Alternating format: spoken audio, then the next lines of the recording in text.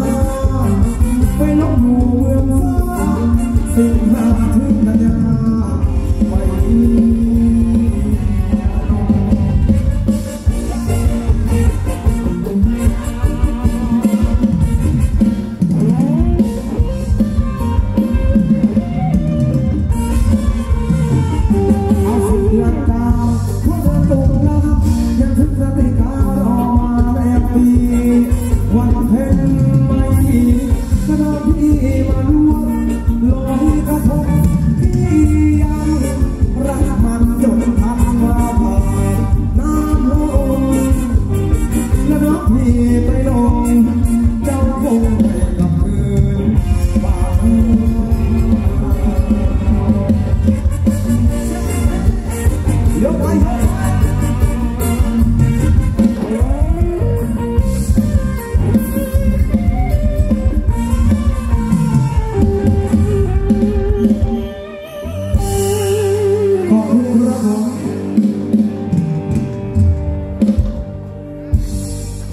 บก็ผ่านกันไปคอยน้อง12เดือนนะครับ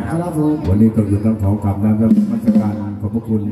พระเดชพระคุณหลวงพ่อท่านพระครูวินัยทรของอปโสและคณะสงฆ์วัดกลุ่มนะครับ